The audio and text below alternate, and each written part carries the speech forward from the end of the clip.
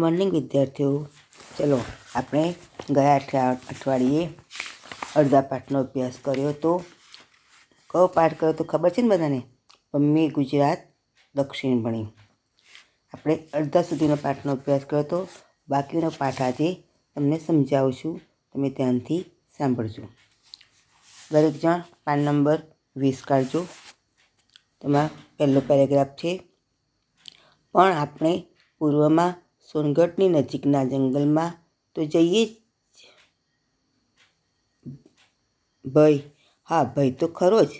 પણ ચાલો, તાપી નદીને કાંઠે કાંઠે ડાબે હાથે સાતપુરાની હાર દેખાવા માંડે ત્યાં સુધી.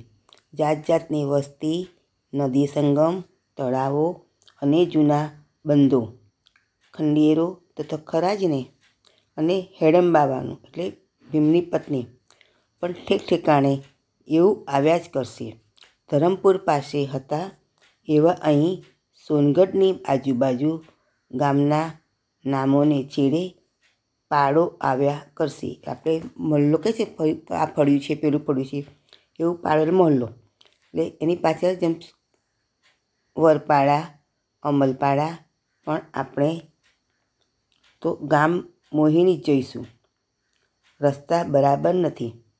તે થઈ રહેશે. પણ સામી નજરે સાતપુડાના હેરિયા જોવાની કેવી મજા આવશે દરેક જણ લીટી પાડજો. હેરિયા એટલે છિદ્રમાંથી પડતું સૂર્યનું કિરણ. ચલો વિદ્યાર્થીઓ આગળ જોજો. પણ આપણે તો તોફાની નદી કિમનો ઠસ્સો જોઈ, ઠસ્સો એટલે રોફ અંકલેશ્વર જવું છે.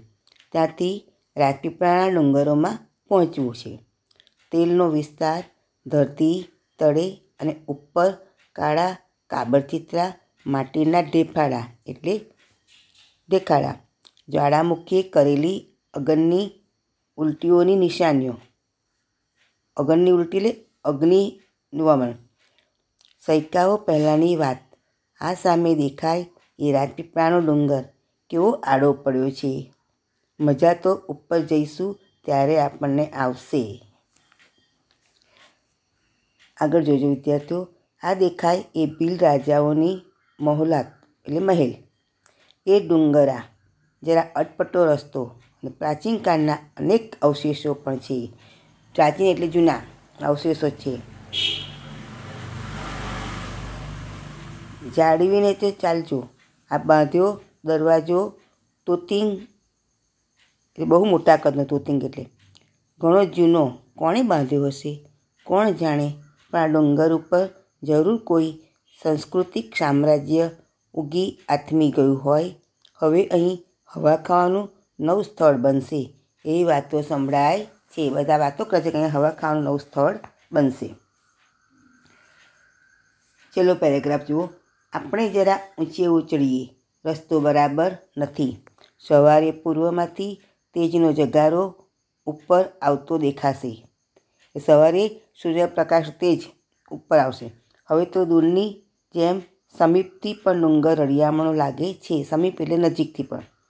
માળવગઢની રાણી રૂપમતીની જેમ, લીટી પાડજો દરેક જણ.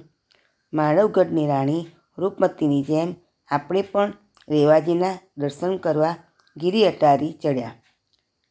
વિંધ્યવન ખુંદી સાતપુડાની હારમાળાને ઓળંગી એટલે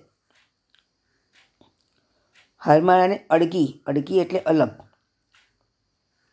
રાખી, નર્મદા મૈયા ગુજરાતે પધારતા કેવા જાજલ્યમાન બને છે? જાજલ્યમાન એટલે જળહળતા લાગે છે. કદીક ધોધે, કદીક વિશાળ પટે કદીક હરણ ફાડે એટલે હરણની જેમ ફાળ.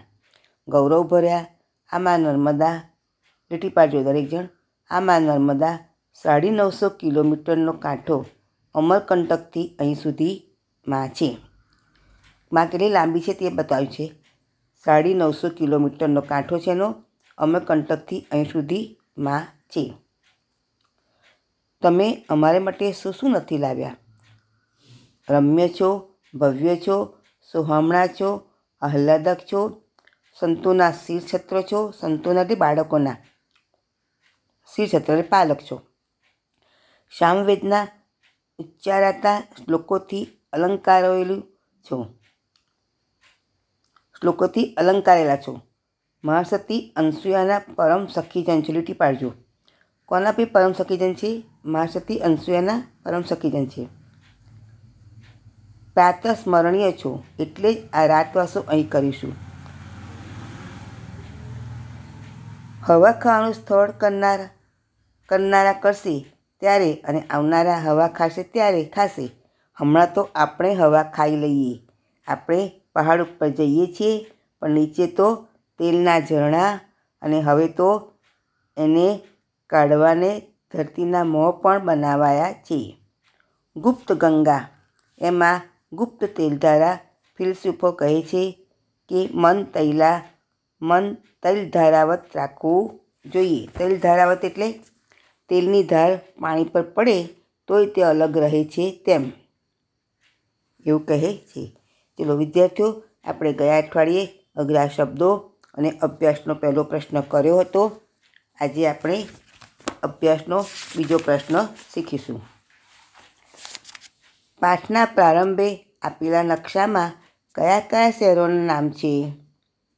પાઠના પ્રારંભે આપેલા નકશામાં અંકલેશ્વર છે, ભરૂચ છે, રાજપીપળા છે, સુરત છે, બારડોલી છે કામરેજ, ડભોલી, સિંગણપોર, માંડવી, ભીમપોર, ડુમ્મસ, હજીરા અને સોનગઢ છે. નંબર બે. તાપી નદીને કોની પુત્રી કહી છે? તો તાપી નદીને સૂર્યની પુત્રી કહી છે. નંબર ત્રણ. અંગ્રેજોએ ખૂટો બેસાડ્યો એટલે શું છે? અંગ્રેજોએ ખૂટો બેસાડ્યો એટલે અંગ્રેજોએ પાયો નાખ્યો. થાણું નાખ્યું તેવું કહે છે.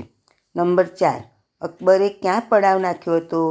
અકબરે તાપી નદીને કાંઠે આવેલા કિલ્લા પાસે પડાવ નાખ્યો હતો. નંબર પાંચ, સુરત શહેરમાં કઈ કઈ પરદેશી જાતિઓ આવેલી છે? સુરત શહેરમાં ફિરંગી, અંગ્રેજ, વલંદા એટલે ડચ, ફ્રેન્ચ, મોગલ વગેરે આવેલી છે. ચલો વિદ્યાર્થીઓ હવે આપણે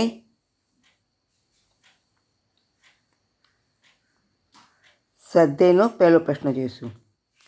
આ પાઠમાં આવતી પંક્તિઓ લખો. તો પાઠમાં તમને પહેલી મેં પંક્તિ કરાય છે, મોજ, શોખ ને ખાણી પીણી, સુરતી લીલા સહેલાણી, વાડી ગાડી લાડીમાંથી કીધી જિંદગી દૂરદાણી બીજી પંક્તિ આવે છે, સોન, સોનાની મુહૂર્ત સુરત આતે સાત તુજ હાલ. ત્રીજી પંક્તિ છે વેડ ડભોડી અને સિંગણપોર જતા આવતા થાય બપોર. નંબર બે. અહીં લેખકે મહાભારત સાથે સંકળાયેલા કયા સંદર્ભનો ઉલ્લેખ કર્યો છે? તો લેખકે મહાભારત સાથે સંકળાયેલા કુરુક્ષેત્રનું મેદાન, પાંડવોની ગુફા, ભીમની ગદા હેડમ્બાવાન વગેરેનો ઉલ્લેખ કર્યો છે. નંબર ત્રણ. આ પાઠમાં લેખકે નર્મદા નદી માટે કયા વિશેષણો વાપર્યા છે તે શું શું સૂચવે છે? તો તમારી ચોપડીમાં છે. ટીક કરજો છેલ્લા પેરેગ્રાફમાં છે. નર્મદામાં કેવા છે? મનમોહક છે, રમ્ય છે, સોહામણા છે, આહ્લાદક છે. છેલ્લા પેરેગ્રાફમાં જ આપ્યું છે. દરેક જણ જોજો.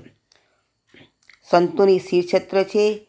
સામવેદના શ્લોકોથી અલંકારેલી અનસુયાની પરમ સખીજન અને પ્રાતસ્મરણીય છે.